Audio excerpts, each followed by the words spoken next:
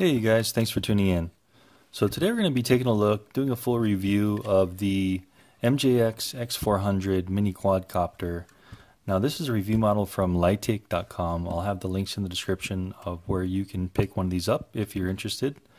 And so what we're going to be doing today is basically just kind of doing an out of the box assessment, showing what come showing what comes in the box, uh, taking it out, doing some flying, um, also going to do some night flying, some park flying, and then coming back and kind of giving you my final thoughts, pros and cons assessment of what I liked about it, what I think could be improved, and just kind of an overall afterthoughts. We're going to go through some some battery uh, flight time, how long the battery lasts, uh, range testing, all that kind of stuff. So the X400 kind of looks like a direct competitor to something like the X5C, the Syma X5C, uh, little mini quadcopter. And it's got kind of a nice and sleek look. It's got more of a sport look to it.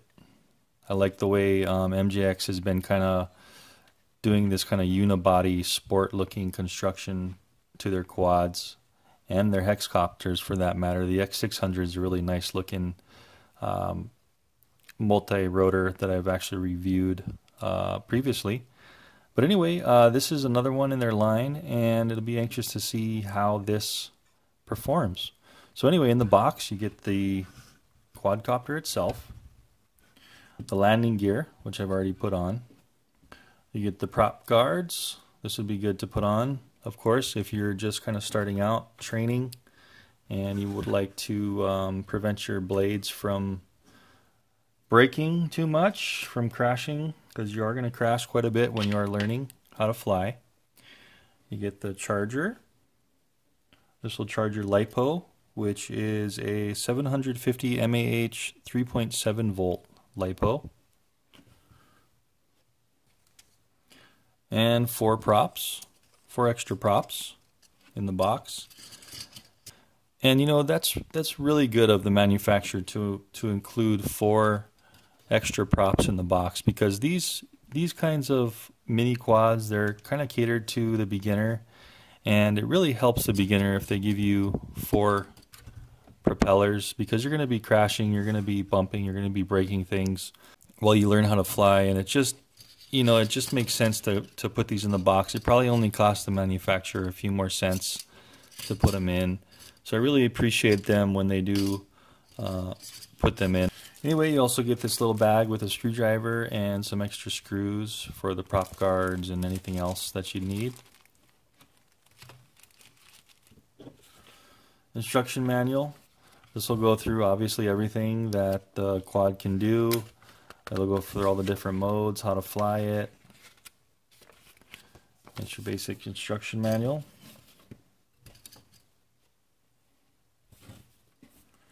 And last but not least, the controller. So this is kind of the um, the normal MJX kind of mini full-size look-alike controller. And they've been doing pretty good on this controller. It's got quite a bit of features. You can change the um, controller between mode 1, mode 2, mode 3, and mode 4 just by um, just by pushing this button here. You can go to to stick mode 2 to 4 and then you can also change to mode um, 1 and 3. I believe it's called, it would be 1 and 3, just by pushing uh, these buttons here, or these levers here. And what that does is it kind of changes the um, what the sticks do on both sides. So instead of it having throttle here, there would be throttle here. And it just basically, you can tune it any way you want. So I'm really I'm really impressed by MJX and making one controller that can satisfy everybody's needs of control. And the X400 is advertised to have a headless mode and a return to home function as well, kind of specialty functions. So um, what the instructions say is you hold this button down until you hear two beeps. The lights on the quad will flash underneath and you'll be in headless mode which will allow you to, no matter which direction of yaw you're in, you'll be able to pull it back towards you. Go left will be left, right will be light, right, forward will be forward, no matter which direction the yaw is. That could be helpful if you're losing orientation and you need to come back. Um, keep in mind that with this kind of toy grade quad headless mode, you always want to launch and have it turned on with it facing away from you because it just kind of remembers its direction, general direction.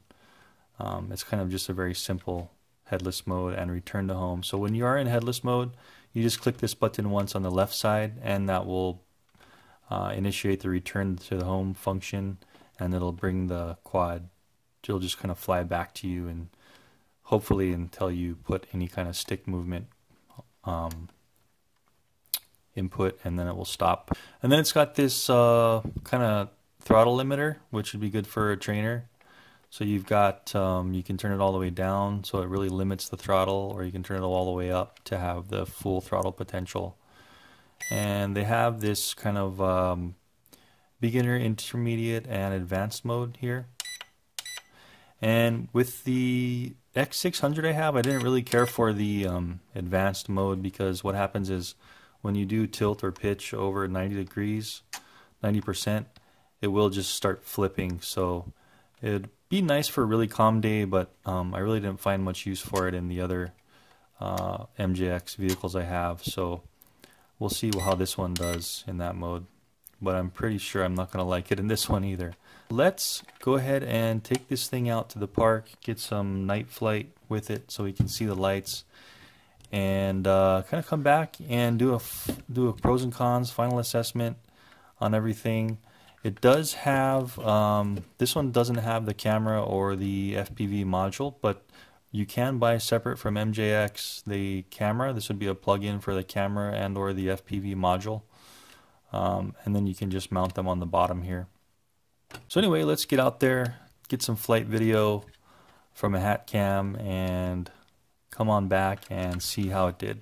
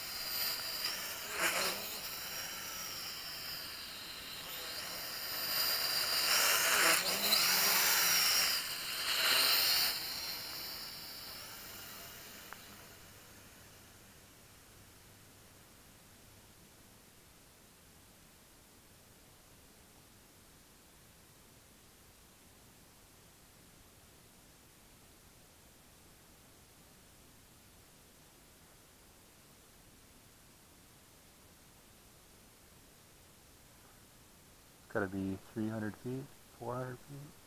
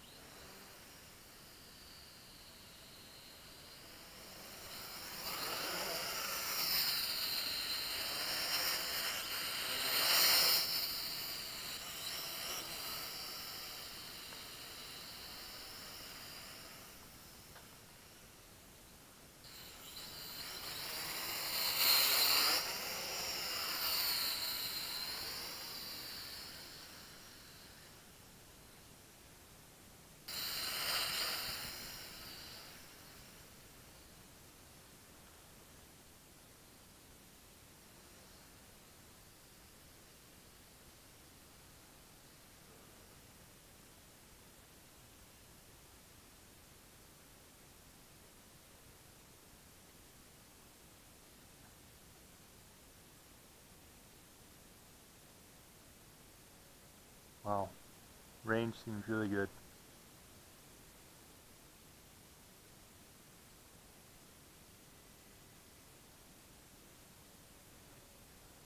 We gotta be close to 400 feet, still in full control.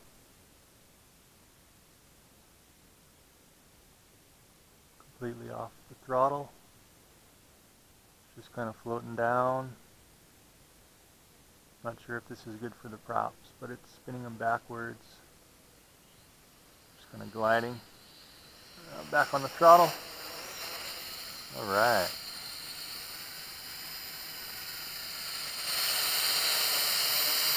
Wow, nice, nice quad here.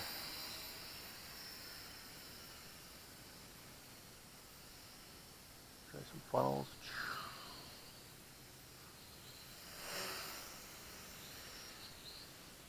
Like it.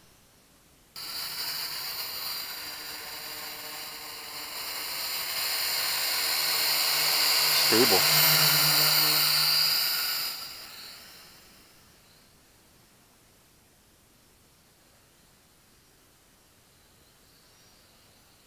Oh. Uh-oh. Pilot error.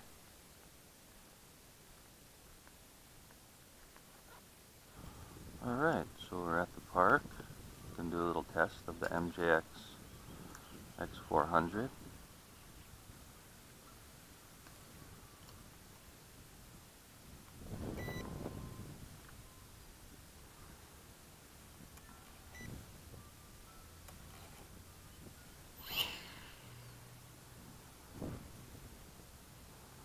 Start the timer.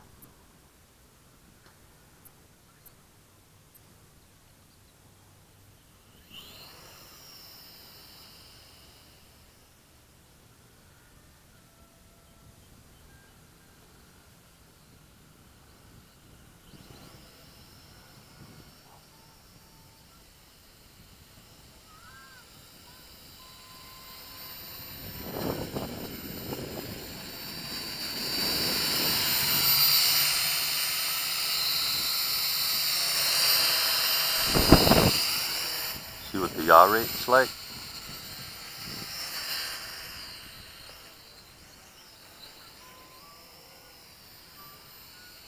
This is on rate 2. Intermediate rate.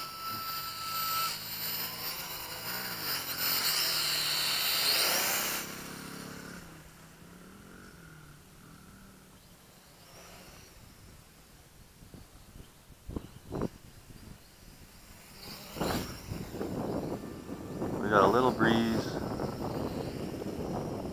coming from the west, maybe 10 miles, 5 to 10.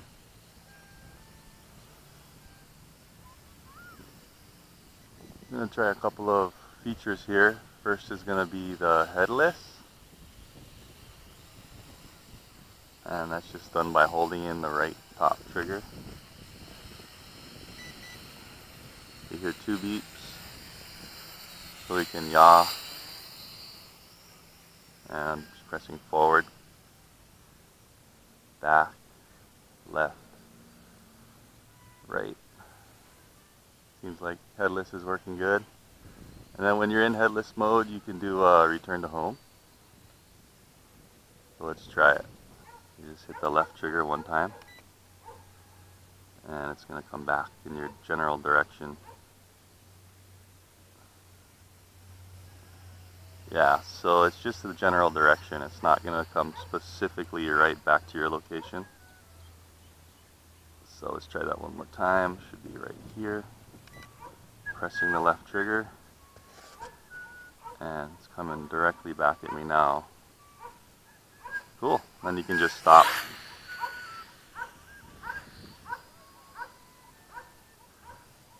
Then you can just hold the right stick to get out of return to home, holding the right trigger, get back out of headless.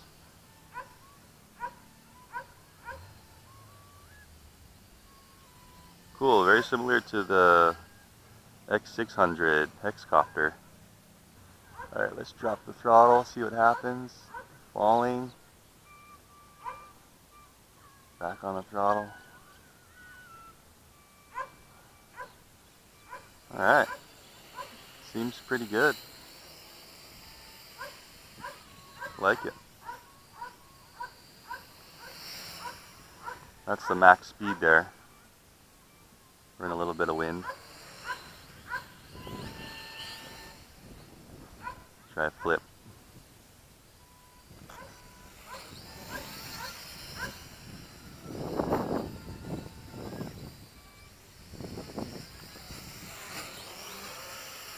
Okay, so it drops a bit when flipping. So you gotta push the throttle up to keep it up. Do a hover and then flip now. You can see how it drops. So you are gonna have to uh, preferably push the throttle up when you flip. Full blast for a sec.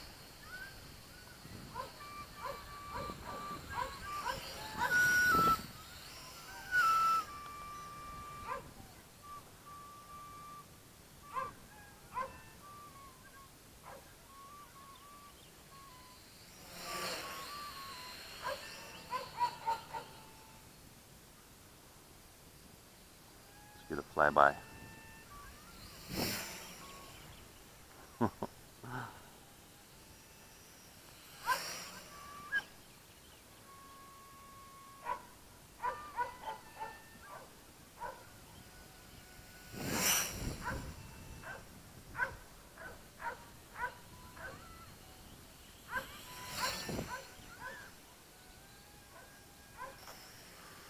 At, oh, coming on seven minutes. No blinking lights yet.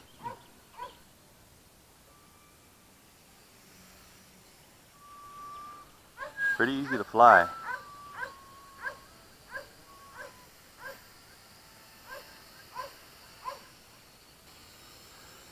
So I have cycled the stock battery probably about three times now. And it is fully charged, well was fully charged for the flight. And the controller is also fully charged with some rechargeable batteries. I always do my tests with fully charged batteries so we get a good a good range determination.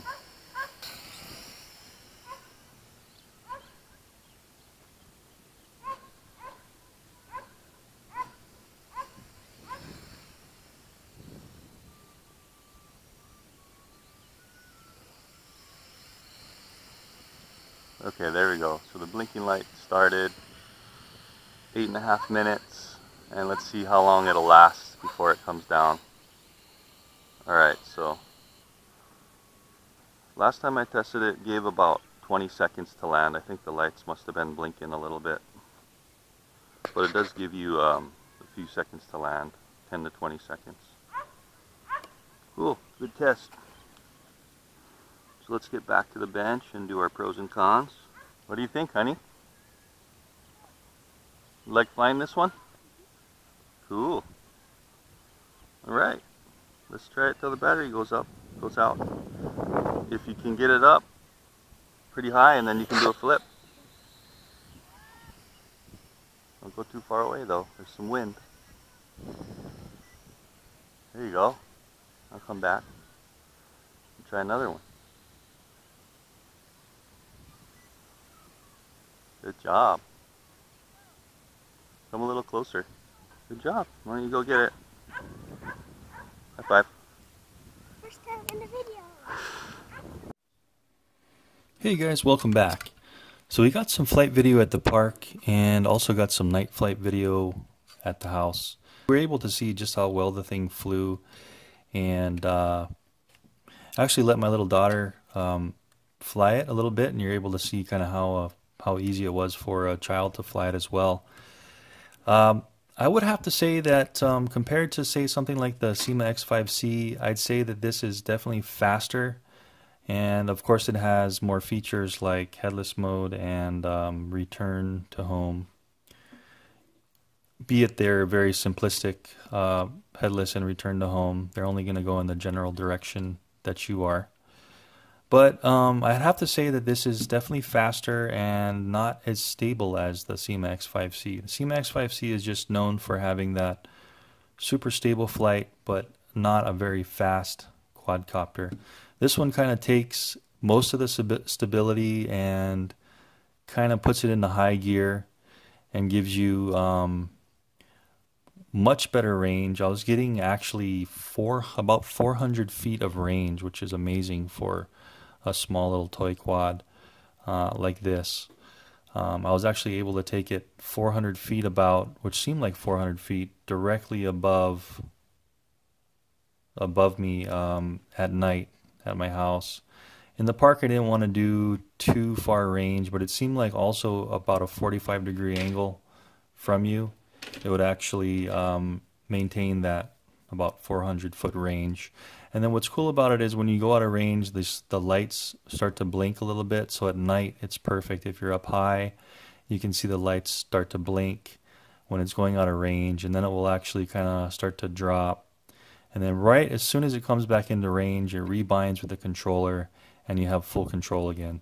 So I really like that, like that feature. I think they did a good job on, you know, the range and what it does once it goes in and out of range and it is a pretty fast quad. It's um, it's not the fastest, but it's got enough tilt and roll in order for it to fight a pretty good breeze of wind. Um, I think I was fighting it in maybe around 10 mile per hour variables at the most, and it was doing just fine.